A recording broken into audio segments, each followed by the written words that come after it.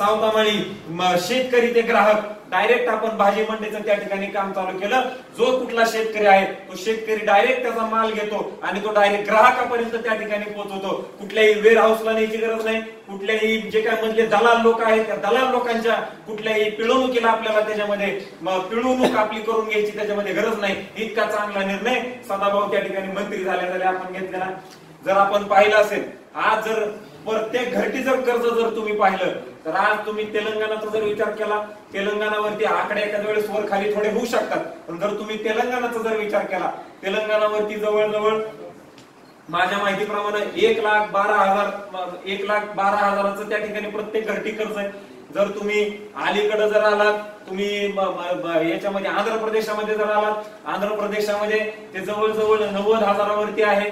कर्नाटकामध्ये जर तुम्ही आलात ते जवळजवळ सत्त्याण्णव हजारावरती आहे गुजरातमध्ये तुम्ही गेलात तर ते जवळजवळ चौऱ्याहत्तर हजार आहे. आणि महाराष्ट्रातलं जर प्रत्येक घंटी जर आपण कर्ज लक्षामध्ये घेतलं तर ते आता चोपन्नच हजार आहे. आणि महाराष्ट्रामध्ये केंद्राने मागच्या वेळेला दोन हजार सात आठ नऊ साली ज्या वेळेला ती कर्जमाफी केली होती ती कर्जमाफी केल्यानंतर त्यांनी जे काही कर्जमाफी केंद्राने पूर्ण देशासाठी केलेली असेल तो आकडा मी तुम्हाला सांगत नाही.